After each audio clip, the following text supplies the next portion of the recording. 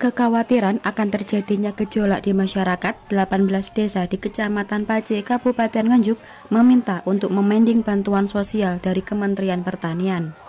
Hal itu dilakukan atas kesepakatan 18 kepala desa di Kecamatan Pace. Karena Kementan telah menggelontorkan 6 tahap bansos, sementara pemerintah daerah dan provinsi baru menurunkan bantuan tiga kali. Penerima bantuan dari Kementan rata-rata masyarakat ekonomi menengah ke atas. Sedangkan yang berhak menerima bantuan atau masyarakat menengah ke bawah baru menerima tiga tahap.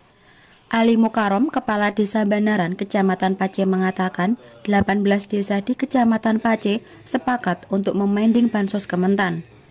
Karena penerima bantuan sosial Kementan taraf ekonominya menengah ke atas.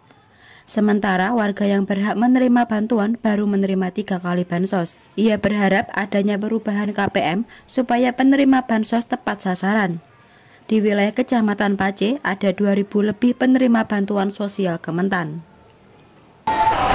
Ya kemarin kita mengumpulkan beberapa kepala desa se-Kecamatan Pace untuk memusyawarahkan tentang bantuan Kementan bahwasanya bantuan Kementan yang sekarang mau cari itu termasuk tahap yang ke-6 jadi Kepala Desa Kecamatan Pace menindak tegas untuk memending bantuan tersebut. Alasannya karena bantuan yang lain, contohnya seperti dari apa itu uh, provinsi, dari kabupaten itu kan baru tiga tahap.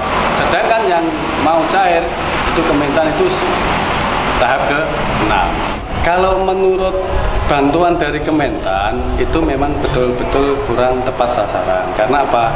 Yang dibantu itu kan sifatnya petani Bapak.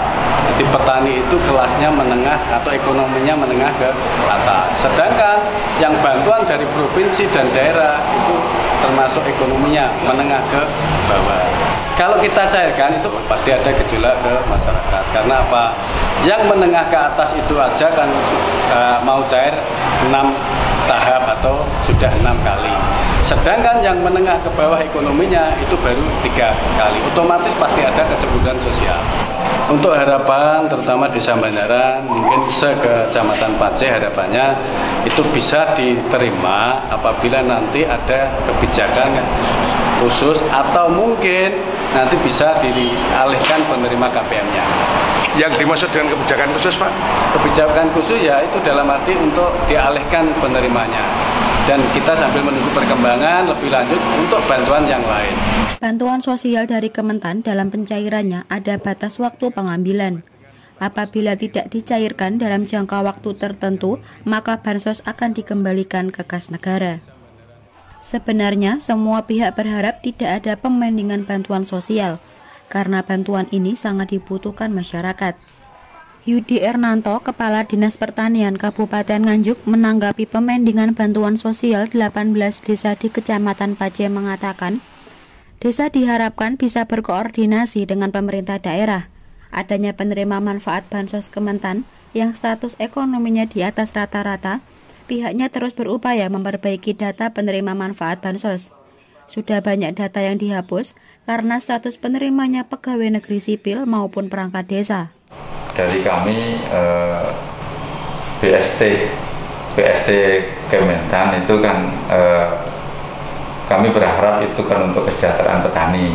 Tapi satu hal eh, mungkin tidak menolak mungkin. Artinya bisa saja itu masih ditunda atau dan sebagainya. Tetapi kewenangan dari dinas pertanian itu tidak ada terkait dengan ini. Dengan apa?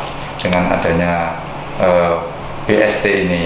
Karena jalurnya memang dari kantor pos kantor pos itu perintah dari Kemensos. Sehingga perlu ada kejelasan terkait hal, hal tersebut ya. Harapan kami bisa e, mengkomunikasikan kepada Bapak Sekda ataupun kepada Bapak Bupati sehingga alurnya akan jelas dan tidak menjadi Eh, berita-berita uh, yang uh, sedikit gak tanda kutip mengganggu. Terkait dengan hal demikian uh, kami bekerja artinya berkoordinasi dengan Bapak Sekda dan uh, pihak terkait. Kita terus mengevaluasi bagaimana sebenarnya kegiatan uh, bantuan ini bisa uh, tepat sasaran sehingga berdasarkan evaluasi ini apa yang harus kita laksanakan dalam rangka untuk menjaga kestabilan eh, kestabilan di tingkat wilayah. Jadi sekali lagi dengan eh, evaluasi ini diharapkan eh, bantuan ini tetap bermanfaat dan menjaga kondisi kondisivitasnya eh, wilayah. Bansos Kementan di wilayah Kecamatan Pace seharusnya dicairkan tanggal 24 September 2020 karena adanya pemendingan dari 18 kepala desa hingga saat ini belum dicairkan dan masih di kantor pos setempat. Masing-masing KPM seharusnya menerima Rp30.000. Dari Nganjuk, Siti Nur Khalifah melaporkan.